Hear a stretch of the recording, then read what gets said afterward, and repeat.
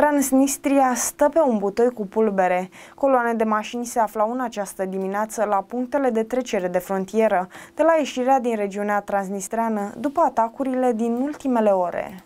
Oamenii încearcă să scape de război și pleacă spre Republica Moldova. Imaginile au fost surprinse la punctele de trecere Bender și Râbnița. Foarte aproape de Râbnița este Cobasna, acolo unde este depozitul de muniție, muniție foarte veche, dar existentă încă a armatei rusești, care a fost staționată pe teritoriul actual al Transnistriei. Este un punct vulnerabil legat de aceste încercări de destabilizare. Este foarte complicat complicată situația pentru că nu există o legătură terestră, nu există o legătură aeriană între Federația Rusă și așa zisa Republică Transnistreană. Condițiile din punct de vedere militar pentru Federația Rusă nu sunt deloc propice pentru că este vorba despre a survola, despre a trece terestru peste teritoriul Ucrainei, o zonă controlată foarte bine de către armata ucraineană și de către celelalte forțe de securitate ale Ucrainei, a declarat Virgil Bălăceanu, general în rezervă la Antena 3.